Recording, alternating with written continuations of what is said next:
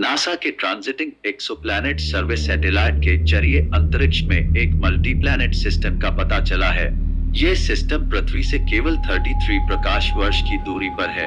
इसमें पृथ्वी के आकार के दो ग्रह मौजूद हैं। इस मल्टी प्लैनेट सिस्टम के केंद्र में एक छोटा और ठंडा एम ड्वार्फ तारा है, जिसका नाम है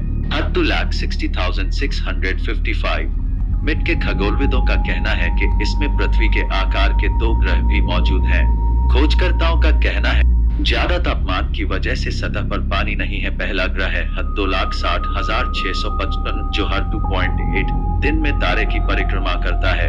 ये पृथ्वी से करीब वन पॉइंट टू गुना बड़ा है। दूसरा ग्रह जो बाहर की तरफ़ है, वह है दो लाख साठ हज़ार छह सौ पचपन। ये हर 5.7 दिन में तारे की परिक्रमा करता है। ये पृथ्वी से 1.5 गुना बड़ा है।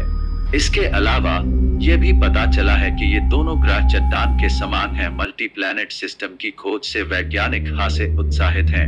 वैज्ञानिकों का मानना है कि इस सिस्टम से पृथ्वी के आसपास के इलाकों को बेहतर ढंग से समझने में मदद मिलेगी कैलिफ़ोर्निया के पासाडेना में अमेरिकन एस्ट्रोनॉमिकल सोसाइटी की बैठक में वैज्ञानिक खोज के नतीजों के बारे में बताएँगे रिसर्च टीम के एक सदस्य मिशेल कुनीमोटो का कहना है कि इस सिस्टम में दोनों ग्रहों को उनके तारे की चमक की वजह से वायुमंडलीय अध्ययन के लिए सबसे अच्छा लक्ष्य माना जा रहा है। इन ग्रहों के चारों तरफ़ का वातावरण कैसा है? क्या यहाँ पानी है या यहाँ कार्बन आधारित प्रजातियाँ हैं? इन सभी सवालों के जवाब खोजने के लिए वैज्ञानिक अब इनका अध्ययन करेंगे। दोस्तों, ऐसे ही वीडियो देखने के लिए चैनल को सब्सक्राइब करें। धन्यवाद।